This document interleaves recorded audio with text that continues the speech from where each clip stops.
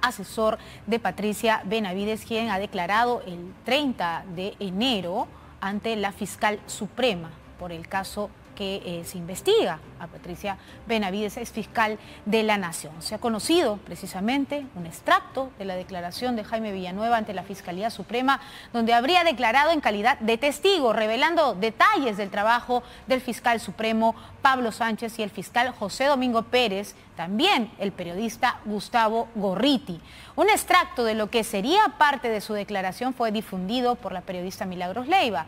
Según lo presentado, el ex asesor de Patricia Benavides habría señalado al periodista como quien dirigía la investigación del caso Cócteles.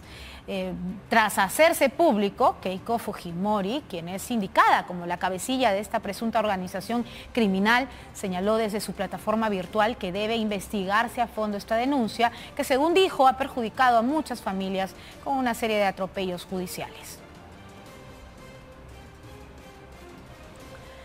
Está en la cabeza de uno de los poderes más importantes del Estado, el Poder Legislativo. Es lo siguiente en este comunicado.